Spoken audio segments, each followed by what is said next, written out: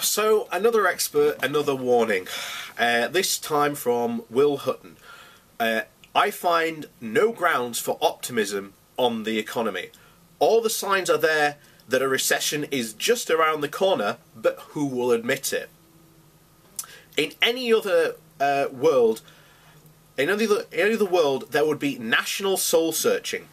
Britain's economic growth rate over the past 12 months is half its average over the previous 25 years and set to deteriorate further. Investment is stagnating. Mortgage approvals in March slumped by almost 21%.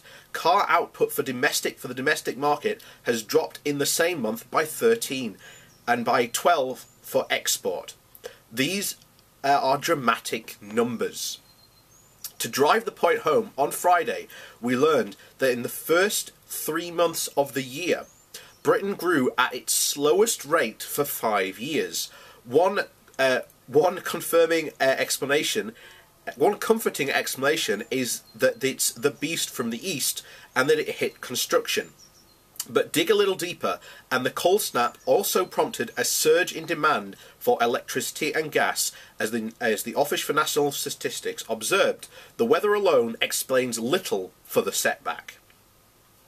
Output from manufacturing and services was just as idling in January and February before an anonymous, before an anonymous gathering um, slide in many areas in March. This should be sounding alarm bells everywhere but it is eh, but it, it is plainly why the Bank of England and Governor Mark Carney signalled that an interest raise right interest raise uh, rise slated for next month may be deferred, and why the pound was sold so aggressively after the news. If there had not been a world boom over the last two years, it is clear that the UK would be hovering on the brink of a recession. Indeed, it is the world. Indeed, as the world economy falters in the months ahead, there is now a real prospect for just that. If you are a passionate Brexiteer, this is just some um, frictional difficulty before the British economy moves into the sunny uplands, riding the boom in a fast-growing, uh, riding the boom in the fast-growing economies of Asia, as it does trade deals aplenty. After all, Remoaners don't draw attention to uh, unemployment falling to a 40-year low. Uh, the companies who threatened to leave instead of uh, instead of committing to the UK, and the ongoing strength of our uh, high technology sectors. It is true that the unemployment is heartingly low, but unemployment is what economists call a lagging indicator, the last statistic to turn sour in any recession. This reflects what the economic, the economic conditions were 12 months ago.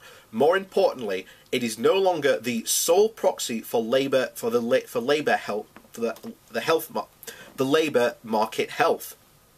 Since the financial crisis, real wages have fallen by a stunning 10%. Over the last generation, the UK has become the global, global leader in creating low paid, low skill casualised work. In any three year period, such is the churn in the labour market that a third of the workforce could find themselves in poverty without either a strong trade, uh, trade unions or a burgeoning knowledge economy.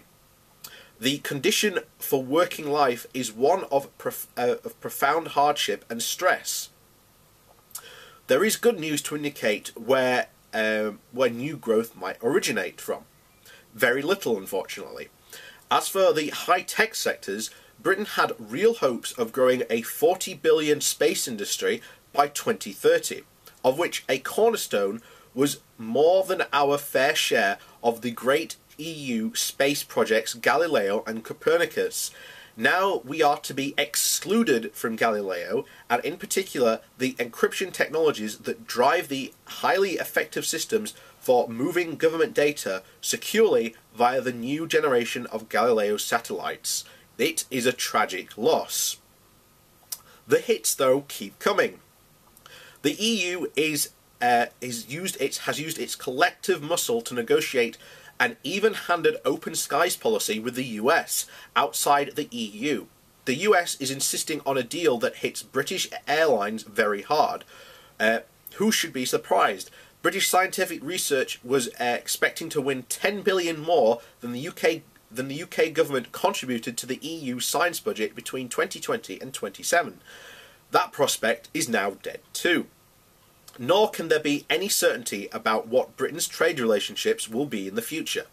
At Britain, at present, Britain is the linchpin of the world's greatest free trade area. The 27 members of the EU and another 31 countries with whom free trade agreements are signed and operational, another 30 with provisional deals about to be put in place. This global EU is the citadel and at the heart of the world's free trading system, setting standards for the production of chemicals to use to the use of data. And that is what the rest of the world follows. There is zero chance that Britain can reproduce this on its own.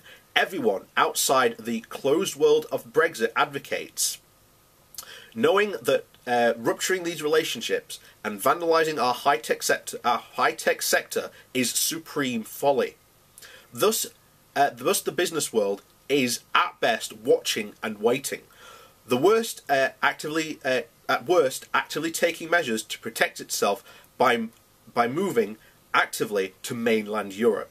Figures released by uh, OE, uh, OE by ODEC, um, that's an acronym, I can't remember what it's for on Friday show that inward investment to Britain slumped by over 181 billion over the last year.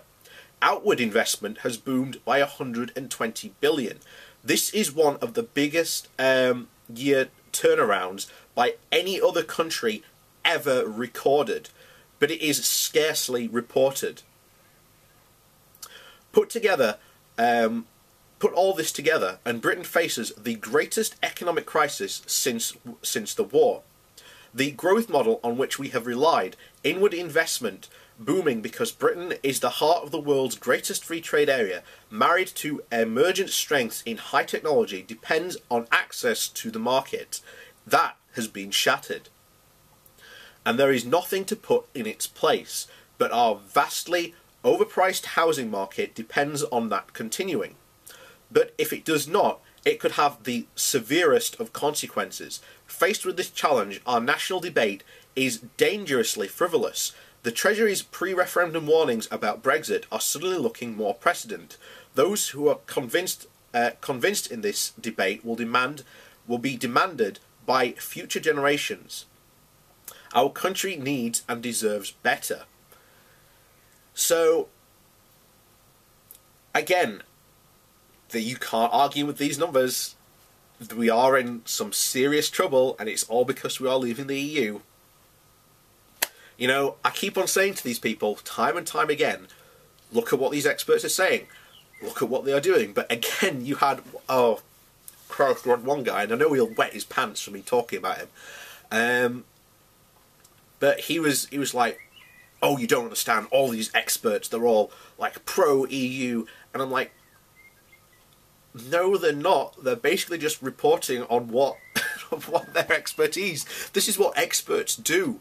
And here's the thing: you need these experts because if we get into some serious financial shit, then you're going to need these experts to help you get them out. But if these experts suddenly turn around and go, the only option is to rejoin the EU, you know. uh, which it probably will be. But even then, uh, there's another article that basically that's basically puts it even plainer. Even if we do rejoin the EU, um, it will stabilize, you know, restabilize the economy. But all these institutions that have left, they're not coming back. You know, you would have to massively earn, um, re-earn trust in Europe, and in, in the report they go so far as to say the only way we could do that is if we rejoin the euro, if if we join the euro, and prove that we are committed to Europe. And that's good. I want that to happen because you had I released a clip a couple of days ago about um, a couple of like big industry representatives meeting with the House of Lords, and the couple of the time before that, they had an economic expert from Cambridge who basically said, look, the future of world economies is not based on sole um, single trade countries with one country. It is bilateral trade agreements with you know with multilateral countries. So this the idea that the single market is this colossal failure isn't because there are other blocks forming. You have America might have pulled out of it, but Japan, um, Australia, and New Zealand are committed to forming the Trans-Pacific Partnership. That is an economic bloc. There is one forming in the Caribbean, the Caribbean Economic Union. There is one forming in uh, South Africa, uh, South Africa, the South African Trade Union. There is the um, South American one forming with Brazil, Argentina, uh, Chile, uh, and I think Venezuela, and I think there's maybe uh, other countries as well, but I can't remember which, which ones are involved. But they are all forming because they are coming to realise that one country is not as good as several countries going to bargain together. And that is, and that is just not one uh, expert's opinion.